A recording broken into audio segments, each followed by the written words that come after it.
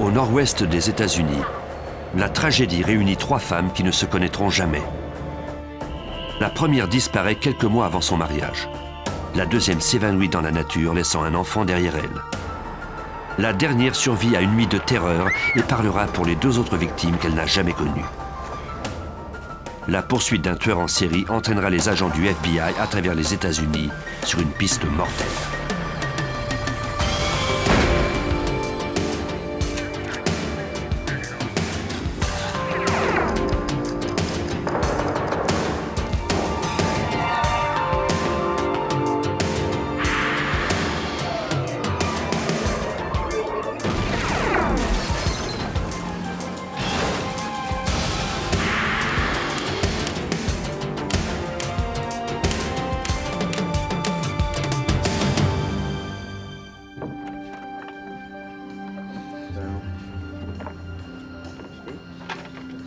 28 mars 1987, à Tacoma, dans l'État de Washington, Laron Cranston quitta une fête à 4 heures du matin. Il avait prévu aller à la pêche ce jour-là. La fiancée de Laron, Robin Smith, 22 ans, décida quant à elle de rester encore un peu. Elle s'amusait beaucoup. Elle dit à Laron de ne pas s'inquiéter pour elle. Elle n'aurait aucun mal à se faire accompagner à la maison par un des invités. Après avoir pêché toute la journée du samedi, Laron rentra chez lui et tomba endormi, exténué. Il ne se réveilla pas avant le dimanche après-midi. Il n'avait pas revu sa fiancée depuis la nuit de vendredi.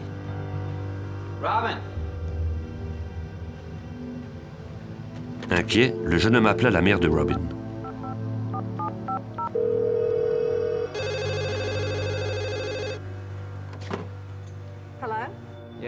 Edna Smith croyait que sa fille était en compagnie de Laron. Elle alla voir dans son ancienne chambre à coucher pour vérifier si elle y dormait. Peut-être était-elle rentrée tard et que personne ne l'avait entendue. Laron dit à Edna de ne pas s'inquiéter. Robin avait peut-être décidé de rester chez leurs amis pour le reste du week-end.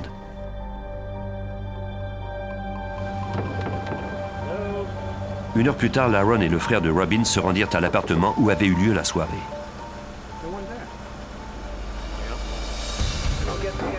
Il n'y avait aucune trace de Robin. Sa famille décida alors d'alerter la police. Laron rejoignit les Smith à leur résidence et attendit avec eux les détectives du bureau du shérif de Pierce County. Ils étaient tous très inquiets. Robin n'avait jamais rien fait de tel par le passé. Le détective Terry Wilson et son collègue ouvrirent une enquête. Selon les informations que nous a données sa mère, Madame Smith, Robin n'avait pas l'habitude de disparaître ainsi sans explication. Elle était fiancée et devait bientôt se marier. Elle était très proche des membres de sa famille. Apparemment, quand elle sortait, elle leur disait où elle allait. Sa disparition inexpliquée ne lui ressemblait donc pas. Lauren Croston raconta au détective cette dernière soirée où il avait vu Robin. Elle et lui étaient allés dans un bar jusqu'à 2 heures du matin le 28 mars.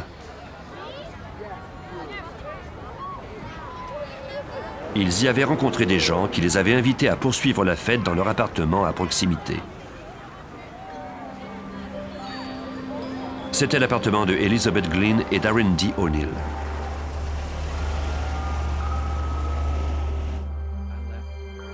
C'est à cette soirée que Laron avait vu Robin pour la dernière fois.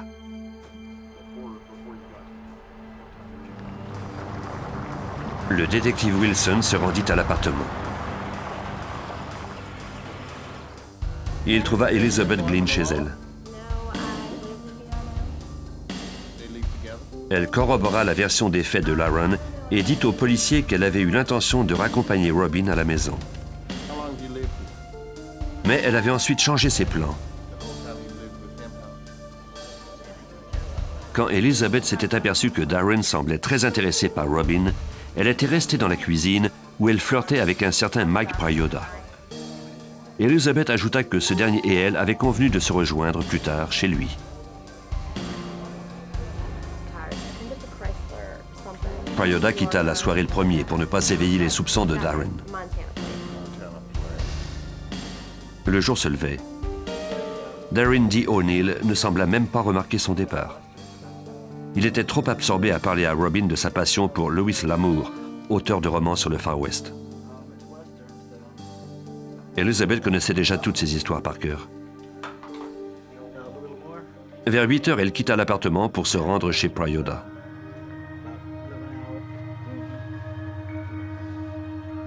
Elle dit à O'Neill et à Robin qu'elle allait acheter de la bière.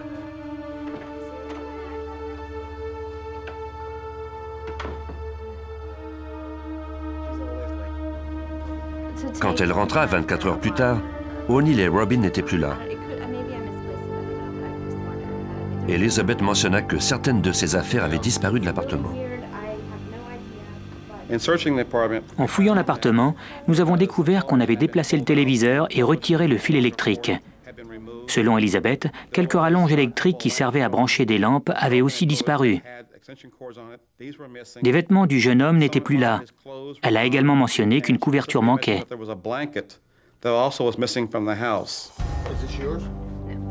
Dans une boîte de rangement, Wilson découvrit plusieurs cartes de sécurité sociale sous de faux noms. L'un d'entre eux était particulièrement inusité, Zebulon McCranahan. Quand le détective Wilson fit part de ses découvertes à son collègue, le détective Wallstout, ce dernier eut immédiatement l'intuition qu'un meurtre avait été commis. On a laissé Robin seul avec ce Darren O'Neill et quelque chose s'est produit par la suite. On peut imaginer que Darren lui ait fait des avances explicites. Peut-être les a-t-elle rejetées. Peut-être est-il arrivé quelque chose d'autre, mais je crois qu'elle a été agressée sexuellement dans cet appartement. On interrogea ensuite Dennis Morrison, l'ami et ancien employeur d'O'Neill. Ce dernier avait fait du travail de menuiserie pour lui. Morrison déclara qu'il l'avait vu quelques jours plus tôt. C'était le samedi après-midi, soit le lendemain de la soirée improvisée. O'Neill s'était arrêté pour lui demander de l'argent. Il lui dit qu'il partait dans l'Est, au-delà de Cascade Mountains. Morrison n'avait pas d'argent liquide sur lui. O'Neill s'apprêtait à partir quand Morrison se dit qu'il pouvait lui faire un chèque. Il sortit et rejoignit la voiture de son ami pour lui offrir de lui faire un chèque, mais ce dernier semblait nerveux et pressé de quitter les lieux. C'est alors que Morrison aperçut la banquette arrière bouger. C'était comme si quelqu'un dans le coffre cherchait à en sortir. O'Neill lui dit alors que c'était son chien. Il l'avait mis dans le coffre pour le punir. Avant que Morrison ait pu dire un autre mot, O'Neill s'en alla. Morrison donna une description de la voiture. C'était une Chrysler brun clair immatriculée au Montana. Malheureusement, les autorités avaient trois jours de retard sur O'Neill. Il pouvait être allé n'importe où.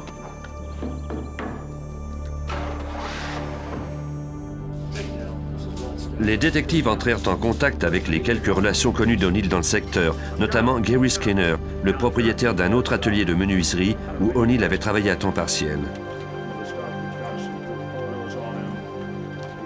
Skinner déclara aux détectives qu'il cherchait Darren O'Neill depuis son dernier jour de travail. Apparemment, Darren est parti avec un marteau de l'atelier. Après son départ, M. Skinner a constaté que le marteau avait disparu et personne d'autre que Darren ne l'avait utilisé. Les policiers de Pierce County introduisirent ces informations dans le NCIC, la base de données criminelles nationale. Elle contient les informations relatives à tous les criminels et leurs victimes à l'échelle des États-Unis. Les policiers introduisirent notamment les caractéristiques physiques d'O'Neill, la description de ses tatouages, ainsi que la marque et le modèle de sa voiture. Les détectives aidèrent également la famille de Robin à mettre sur pied une campagne pour retrouver la jeune femme disparue. On afficha la photo de Robin et celle d'O'Neill partout dans la région de Tacoma. La campagne commença à générer des pistes. On avait vu O'Neill entrer seul dans un hôpital de la région le 29 mars. Il n'y avait aucun garde de sécurité dans l'hôpital, mais les infirmières de l'urgence étaient nerveuses en présence de cet homme. Elles ont appelé des collègues masculins à la rescousse. Darren a finalement quitté les lieux sans faire soigner ses égratignures qui étaient pourtant bien visibles. On pouvait en déduire que Robin avait infligé ses égratignures au visage d'O'Neill au moment de l'attaque. Le personnel de l'hôpital indiqua aux policiers que l'homme, débraillé, avait un tatouage en forme de larme au coin de l'œil. Sur les jointures d'une de ses mains, il avait les lettres J-U-N-E tatouées. Les détectives apprirent par la suite que June était le prénom de l'ex-femme d'O'Neill. La campagne continuait à générer des pistes. Un ouvrier de la voirie avait aperçu O'Neill dans sa voiture à deux endroits différents le 30 mars, soit deux jours après la disparition de Robin.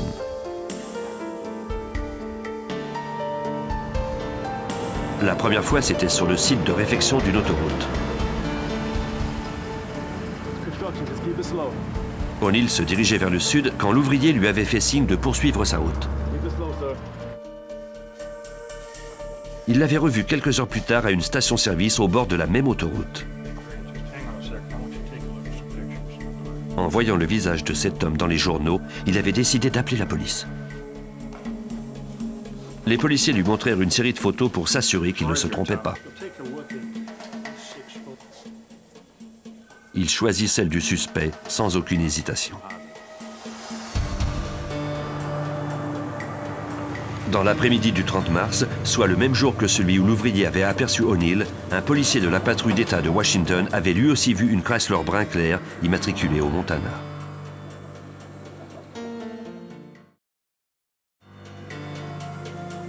Elle avait été abandonnée au bord de l'autoroute 5, à environ 75 km au nord de Pierce County, deux jours après la disparition de Robin.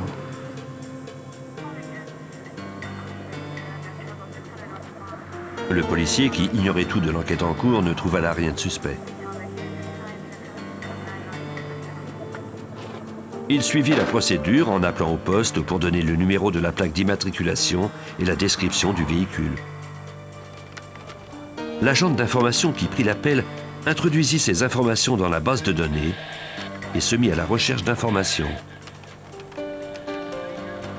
Normalement, elle aurait dû obtenir la fiche concernant O'Neill et sa voiture, mais ce n'est pas ce qui se produisit.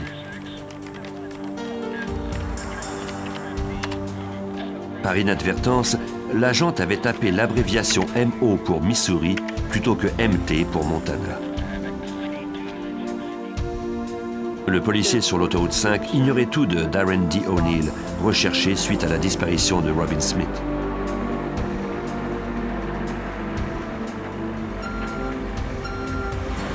L'indice le plus important allait bientôt être remorqué à la fourrière à l'insu des enquêteurs.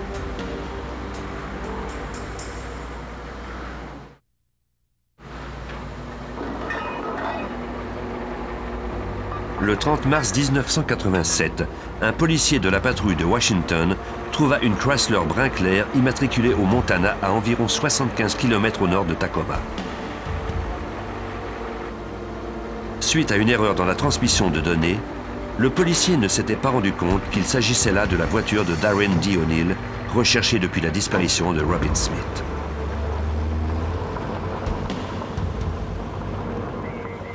On remorqua la voiture à la fourrière pour la vendre rapidement. Quelques jours plus tard, un article sur l'enlèvement de Robin parut dans le journal local. On y décrivait la voiture d'O'Neill. L'homme qui l'avait remorqué se rappelait de la Chrysler brun clair. Il vérifia la marque, le modèle et le numéro de plaque d'immatriculation. Tout concordait. Il avisa immédiatement la police. À leur tour, les détectives vérifièrent le numéro d'identification de la voiture. Un certain Zebulon McCranahan l'avait volé d'une résidence de l'Idaho en 1986. Wilson se rappela immédiatement ce nom assez particulier qu'il avait aperçu sur des cartes d'identité chez O'Neill. C'était l'un de ses faux noms. Au garage de la circonscription ouest de Pierce County, détectives et techniciens se mirent à examiner la voiture. Ils espéraient y trouver des indices de la présence d'O'Neill ou de Robin. Pendant que les techniciens fouillaient l'intérieur de la voiture, les détectives ouvrirent le coffre. Ils y trouvèrent une importante quantité de sang séché. Il y avait également une veste de couleur lavande tachée de sang. La mère de Robin confirma que le vêtement appartenait à sa fille. Les détectives retrouvèrent des dents, des fragments d'os ainsi qu'une touffe de cheveux. Les empreintes digitales d'O'Neill se trouvaient sur des canettes de bière dans la voiture. Cet indice était fort incriminant. Si le détective Wilson avait eu un mince espoir de retrouver Robin en vie, il venait de le perdre. À voir la quantité de sang dans le coffre, nous avions la certitude qu'il y avait eu là un homicide. Nous avons fait de Darren notre principal suspect. À ce moment-là, le ton de l'enquête a changé du tout au tout. Mais pour passer aux accusations, les experts du laboratoire judiciaire de l'État de Washington devaient d'abord s'assurer que les cheveux et les fragments d'os étaient ceux de Robin Smith. Le shérif de Pierce County fit demander les relevés dentaires de la jeune femme et son groupe sanguin. Il y avait toutefois un problème. Robin n'était pas allée chez le dentiste depuis l'enfance. De plus, elle n'avait jamais demandé à obtenir son groupe sanguin. Comme on ne pouvait prouver que le sang provenait bien d'elle, il était impossible de faire inculper le suspect. Les recherches pour retrouver Darren D. O'Neill s'arrêtèrent brusquement. À 200 km au nord, la détective Carlotta Jarrett du service de police de Bellingham travaillait sur une enquête de même nature. Wendy Hoey, une mère célibataire de 28 ans, n'était pas allée chercher sa fillette. On avait alors signalé sa disparition à la police. Wendy avait un rendez-vous amoureux le 24 avril 1987. Elle avait laissé son enfant chez sa grand-mère. Quand cette dernière constata qu'elle ne revenait pas la reprendre, elle se rendit chez elle pour aller chercher l'oreiller préféré de sa petite fille. Sur le lit de Wendy, elle aperçut des taches de sang. Elle appela la police sans tarder. La détective Jarrett obtint un mandat pour fouiller la maison. La voiture de Wendy, une Torino Ford rouge, avait disparu. La porte d'entrée n'était pas verrouillée. Son porte-monnaie et ses clés étaient introuvables. Dans la chambre à coucher principale, Jarrett trouva les traces d'une attaque brutale. Il y avait des fluides corporels dans le lit et une mare de sang sous l'oreiller qui avait imbibé le matelas. Des gouttelettes de sang avaient été projetées sur le mur suite à un coup à vélocité moyenne. Il y avait aussi des longues traces de sang sur ce mur. Les policiers de Bellingham emportèrent le lit pour mieux l'examiner. Sur la tête du lit, ils trouvèrent d'autres taches de sang de Wendy, de même que deux cheveux blonds qui n'appartenaient pas à la jeune femme. Les policiers trouvèrent également un ongle en acrylique. Les amis de Wendy apprirent à la police que la jeune femme portait bien de tels ongles lors d'un rendez-vous avec un certain Michael Johnson. Wendy l'avait rencontré plus tôt le même jour lors de sa pause repas. Il était barman depuis peu au restaurant La Paloma. Carlotta Jarrett se rendit au restaurant pour tenter d'y trouver une piste. Je suis entré en contact avec la propriétaire car je cherchais à savoir si Johnson avait rempli un formulaire de demande d'emploi. Le seul document qu'elle avait, c'était un apron sur lequel il avait noté certaines informations. Elle me l'a remis et nous avons tenté d'y trouver des empreintes digitales. En attendant les résultats, Jarrett se rendit à la mission où le barman avait déclaré résider. La détective s'entretint avec le réceptionniste qui se souvenait du jour où Johnson avait donné son avis de départ. Il avait vu M. Johnson à la mission à 7h30 du matin. C'était le lendemain de son rendez-vous avec Wendy High. Il portait alors des pantalons noirs, une veste, une chemise blanche et une cravate, et il lui a dit qu'il partait travailler. Il lui a confié qu'il avait rencontré une femme et qu'il partait vivre avec elle. Le commis nous a aussi dit que Johnson conduisait une Torino rouge quand il est parti. Avant cela, il n'avait pas de véhicule. Le 4 mai 1987, Gerard reçut un appel de la police d'Eugene en Oregon. On avait trouvé la voiture de Wendy abandonnée dans le stationnement d'une taverne.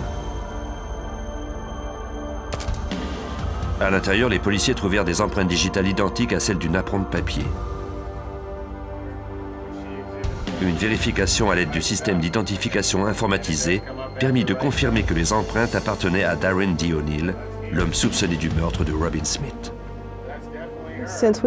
Nous étions persuadés que Darren O'Neill était responsable de la mort de Robin Smith, de même que de la disparition de Wendy Howie, et peut-être même de sa mort. Nous croyons que cet homme représentait un réel danger pour la population. Les policiers de Pierce County appelèrent le FBI pour obtenir son soutien dans cette chasse à l'homme.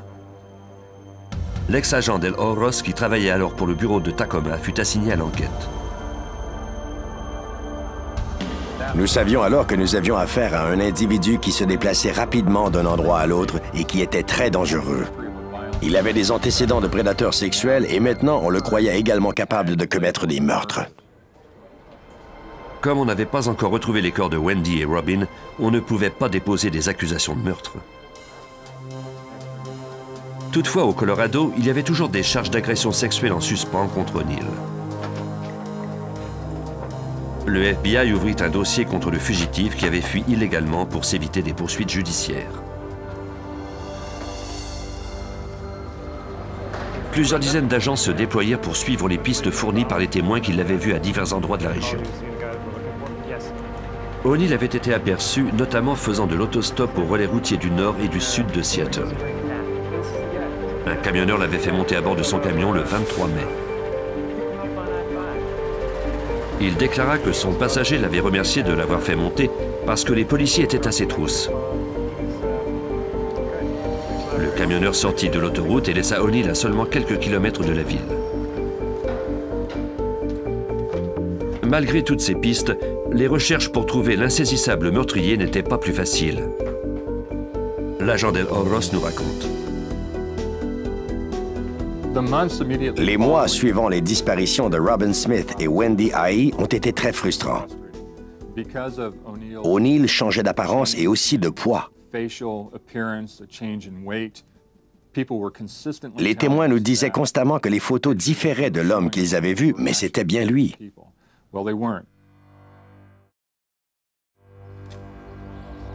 Pendant que les policiers et les agents remontaient des centaines de pistes, on dépêcha des détectives dans la région rurale de Crystal Mountain, à l'est du mont Rainier. Des randonneurs avaient trouvé ce qui semblait être des restes humains. L'endroit était situé près de là où l'ouvrier de la voirie avait aperçu la voiture d'O'Neill un mois plus tôt, peu de temps après la disparition de Robin Smith. Tout juste à l'orée d'un bois, les policiers trouvèrent un crâne et l'os d'une mâchoire. On nota soigneusement leur emplacement avant de les recueillir. Stout et Wilson ratissaient la scène en se demandant s'il pouvait s'agir des ossements de Robin. On trouva d'autres ossements éparpillés dans les environs. On trouva aussi cachés au pied d'un arbre des vêtements pliés. Ils étaient conformes à la description de ceux que Robin portait lors de la soirée. Les policiers trouvèrent également un porte-monnaie. Il contenait le permis de conduire de Robin Smith. Les enquêteurs se déployèrent en éventail pour élargir le champ de recherche. Leur persévérance les récompensa. Ils trouvèrent un marteau identique à celui qu'un des anciens employeurs d'O'Neill s'était fait voler. Les détectives soupçonnaient que le marteau ait pu servir d'arme du crime. Le médecin légiste de Pierce County corrobora les soupçons des enquêteurs. Un examen attentif des restes de Robin lui permit également de conclure qu'elle était morte des suites d'un traumatisme à la tête infligé à l'aide d'un objet contondant.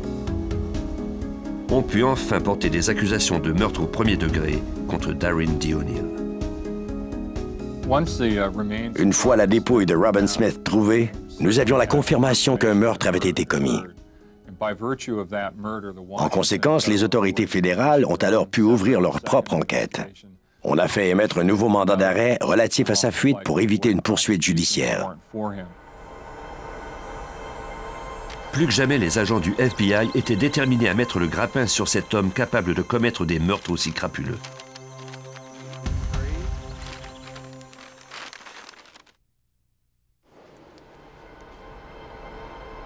En juin 1987, le FBI avait fait émettre deux mandats d'arrêt contre le présumé tueur en série Darren D. O'Neill, qui était toujours en cavale dans le nord-ouest des États-Unis. On avait trouvé les restes du corps d'une jeune femme près du Mount Rainier. Une autre femme avait disparu et était présumée morte.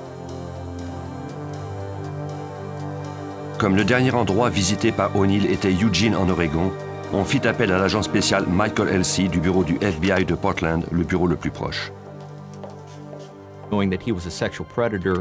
Sachant que c'était un prédateur sexuel, j'ai vérifié auprès des forces policières de la région certains cas d'agression sexuelle pour essayer d'en trouver un dont la signature était similaire. La tâche était monumentale. Cela représentait des centaines d'heures de travail. Mais les agents se refusaient à simplement attendre qu'il y ait une nouvelle victime. Plusieurs dizaines d'agents rencontrèrent les détectives des districts de la région pour tenter de voir si O'Neill pouvait avoir commis des agressions sexuelles non résolues. Ces recherches étaient d'autant plus complexes qu'O'Neill n'avait jamais la même apparence sur ses diverses photos d'identification. La plupart des agents rentrèrent bredouilles.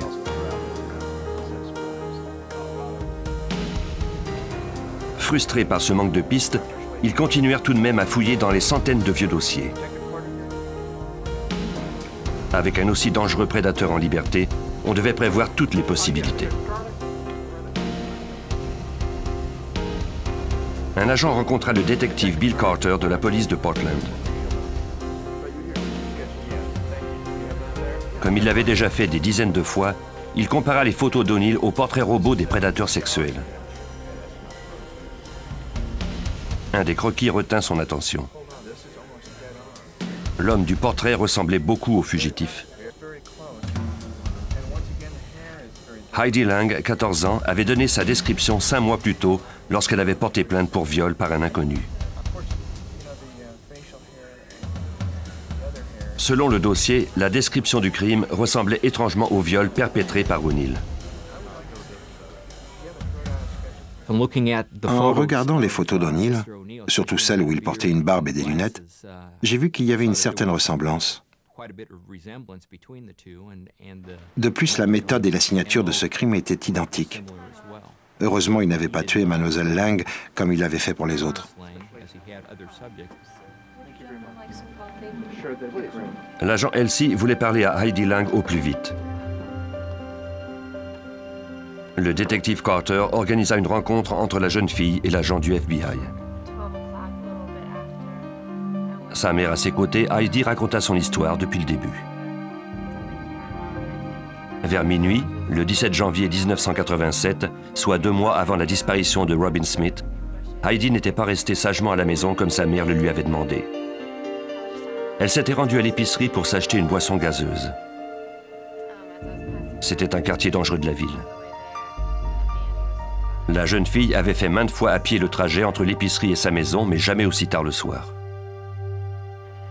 Alors qu'elle traversait le viaduc qui menait au magasin, un camionneur la héla de son camion stationné.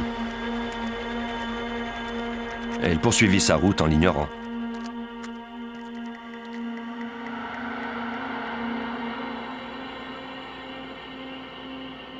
Quelques minutes plus tard, elle reprit le chemin de la maison, la boisson gazeuse en main.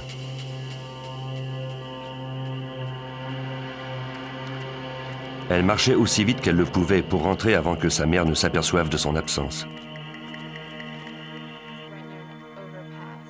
Heidi déclara aux enquêteurs que lorsqu'elle atteignit le viaduc, le camion et son chauffeur avaient disparu.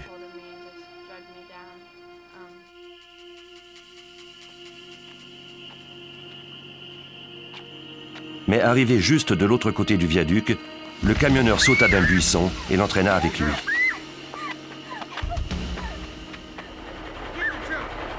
À la pointe d'un couteau, il la força à descendre dans un fossé et à entrer dans la cabine de son camion garé le long de l'autoroute. Même quelques années plus tard, Heidi se rappelait avoir cru qu'elle ne s'en sortirait pas vivante. La première chose que j'ai remarquée, c'est à quel point il était dangereux. Je sentais qu'il avait l'intention de me tuer. Il n'y avait aucun doute dans mon esprit. L'homme la poussa de force à entrer dans la couchette du camion. Heidi était terrifiée et ignorait ce qu'il comptait faire d'elle. Il m'a menacé de faire une prostituée de moi, de me vendre à des souteneurs. Il m'a ensuite dit qu'il allait m'éventrer. J'essayais de trouver une façon de calmer sa colère. Je conversais normalement. Et en même temps, je tentais d'en apprendre le plus possible à son sujet.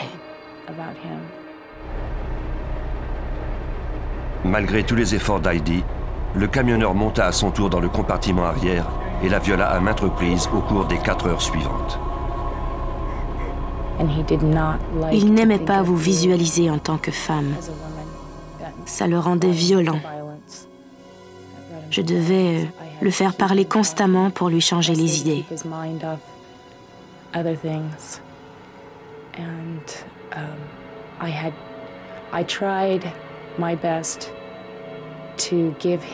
J'ai essayé de lui donner le plus possible l'impression que j'étais insignifiante.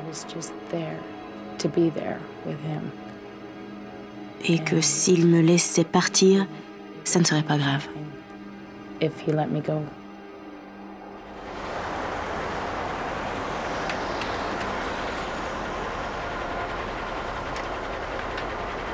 L'intuition et le courage d'Heidi lui sauvèrent la vie. Après l'avoir violée pendant plusieurs heures, son agresseur la laissa enfin partir. Elle courut jusqu'au premier relais routier, où elle demanda à un employé de la conduire chez elle.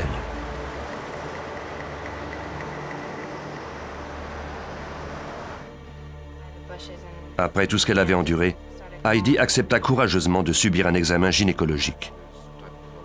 Cet examen permit aux enquêteurs d'obtenir un échantillon du sperme du violeur. On pourrait le comparer à celui d'un suspect dès qu'on en trouverait un. Quand Heidi eut terminé son histoire, le détective Carter lui montrait une série de photos d'O'Neill parmi d'autres photos d'hommes lui ressemblant. C'était incroyable de voir que sa photo y était. Uh, je l'ai tout de suite reconnu. Mais je ne m'y attendais pas. Je n'avais pas eu de nouvelles de la police depuis que j'avais décrit le violeur à un dessinateur. En voyant le visage de son agresseur, les douloureux souvenirs refirent surface. Cela n'empêcha pas Heidi de porter plainte contre lui. Elle était résolue à l'affronter pour le faire mettre derrière les barreaux.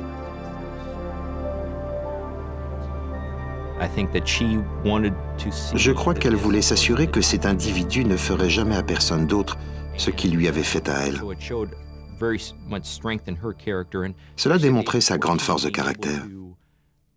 Elle n'avait que 14 ans et pourtant elle est parvenue à décrire si bien ce qui lui était arrivé, et l'individu lui-même, que cela nous a permis de faire considérablement avancer l'enquête. L'agent Elsie appela au bureau de Tacoma pour annoncer à ses collègues qu'il avait enfin trouvé quelqu'un qui pourrait témoigner contre O'Neill. Mais d'abord, il fallait retrouver le suspect.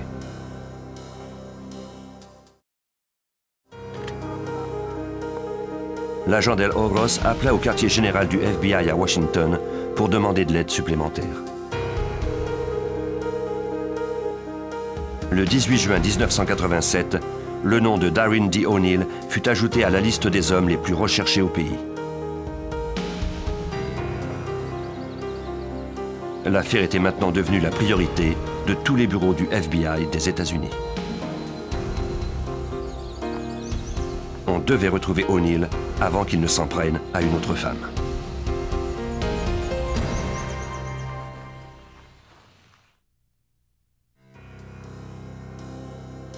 En juin 1987, le nom du présumé tueur en série Darren D. O'Neill fut ajouté à la liste des hommes les plus recherchés par le FBI. L'agent spécial Del Oros était alors en charge de l'enquête. Il avait convaincu les responsables du service de médiatisation qu'O'Neill remplissait les critères requis pour figurer sur cette liste.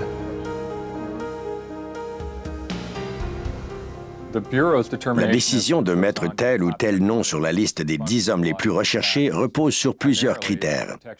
Premièrement, notre but est d'assurer la sécurité de la population. Deuxièmement, on se base sur la mobilité du suspect, sur sa capacité à se déplacer d'État en État. Avec cette campagne publicitaire à l'échelle du pays, la chasse à l'homme pour retrouver O'Neill était permanente. On signale à l'avoir vu à maintes reprises dans différents États. La plupart des témoins l'avaient aperçu dans des bars et des tavernes du nord-ouest des États-Unis. Les enquêteurs remontèrent des dizaines de pistes pour découvrir la plupart du temps que le témoin n'avait qu'une vague description à leur donner du fugitif. Personne ne connaissait ses allées et venues. Les agents n'avaient aucune piste sérieuse. Les écarts de temps entre les divers indices reçus étaient trop longs. Les pistes ne donnaient aucun résultat immédiat. Nous retournions toujours voir les mêmes personnes, interroger la famille et les amis. Nous sommes allés jusqu'à interroger des anciens instructeurs et employeurs pour trouver des indications sur le type d'activité du suspect et deviner ses déplacements à travers le pays.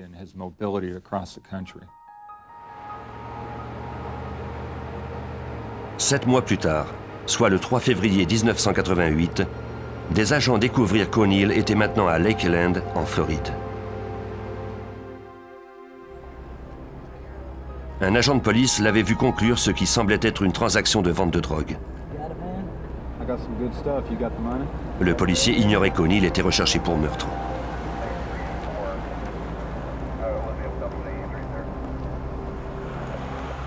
O'Neill vit le policier s'approcher, mais il ne broncha pas. Le policier recula pour examiner la situation de plus près.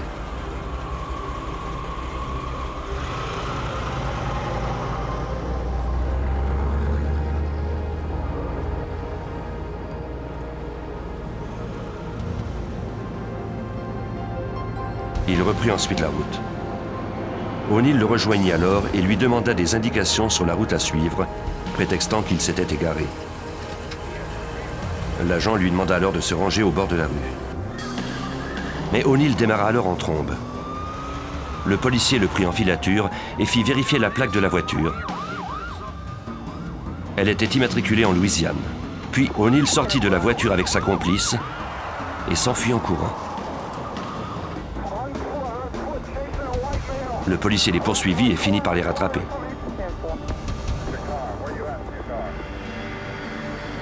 Lorsque les autorités constatèrent que la voiture avait été volée en Louisiane, O'Neill fut renvoyé dans cet état. Quand on lui demanda son nom, il répondit qu'il s'appelait Zone Mayou. Une employée qui travaillait ce soir-là a comparé les empreintes de ce zone Mayhew à celles des dix hommes les plus recherchés du FBI.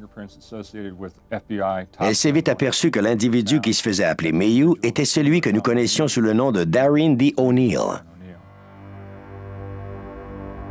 O'Neill fut envoyé dans l'État de Washington où il faisait face à plusieurs accusations. Mais les procureurs de l'État savaient bien que leur dossier était encore mal étoffé. Comme le corps de Wendy Hoey n'avait jamais été retrouvé, on ne pouvait rejeter le blâme de sa mort sur O'Neill.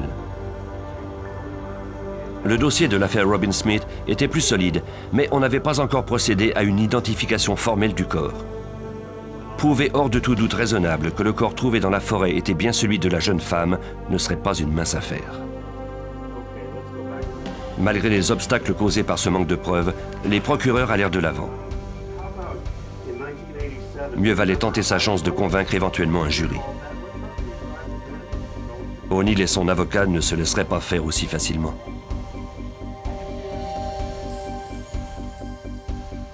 Le 4 janvier 1989, devant les tribunaux de Pierce County, O'Neill plaida coupable du meurtre au premier degré de Robin Smith.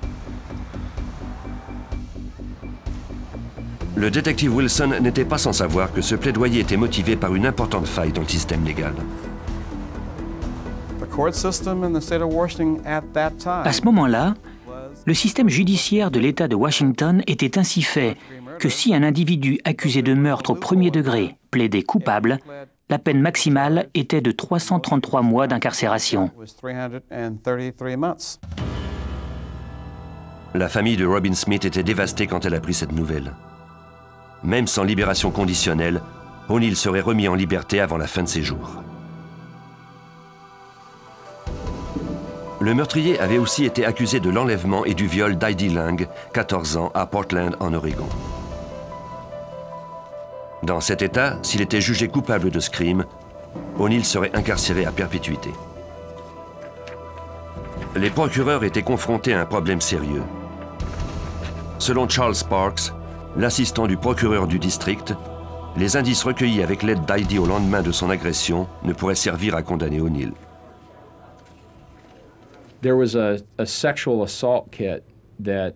On avait prélevé des échantillons des fluides du vagin, mais malheureusement, ils avaient moisi en raison des conditions dans lesquelles on les avait conservés. Nous ne pouvions pas les utiliser. L'analyse génétique nous aurait été très utile, mais nous ne pouvions pas l'effectuer. Le 16 mai 1990, lorsque le procès d'O'Neill commença, les procureurs se rendaient bien compte que leur meilleure stratégie serait de mettre Heidi à la barre des témoins pour faire face à son agresseur. L'expérience, bien que traumatisante, était la seule façon de mettre O'Neill derrière les barreaux pour toujours. Témoigner à ce procès a été très éprouvant. C'était encore plus dur de le regarder en face. J'avais très peur. C'était une expérience terrifiante. D'abord, au moment du viol, je lui avais fait la promesse que je ne dirais jamais à quiconque ce qu'il m'avait fait. Cet homme n'avait eu aucun scrupule à s'en prendre à n'importe qui, même à une jeune fille qui marchait seule dans la rue au milieu de la nuit. Je devais le faire incarcérer pour toujours, sinon j'étais déjà morte. C'était comme ça que je percevais la situation.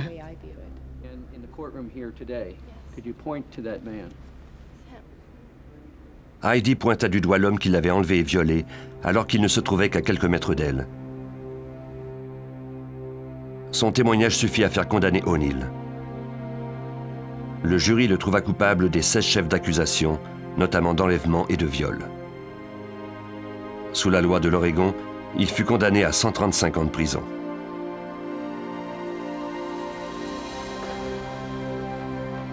Darren D. O'Neill purge sa première peine de 27 ans au pénitencier de l'État de Washington. Il sera ensuite transféré en Oregon, où il devra passer le reste de ses jours derrière les barreaux.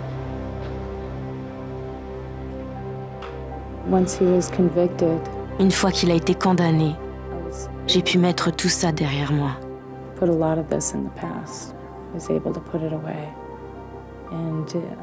C'était primordial. Je ne crois pas que j'y serais parvenu aussi facilement si on ne l'avait pas emprisonné. Pour l'agent Horos, bien qu'il ait quitté le FBI pour occuper le poste de procureur de Sacramento en Californie, ce cas reste très frais dans sa mémoire. Encore aujourd'hui, j'ai une affiche de Darren D. O'Neill accrochée ici au bureau du procureur de district. Même affiché au mur, il me rappelle les dangers que nous courons tous chaque jour quand nous sortons. je suis particulièrement conscient du fait qu'il représente une réelle menace pour les femmes de notre société. Cet individu était cruel, c'était un meurtrier calculateur. Tous les jours, quand je me présente en cours, il m'aide à me rappeler que je suis là pour faire changer les choses.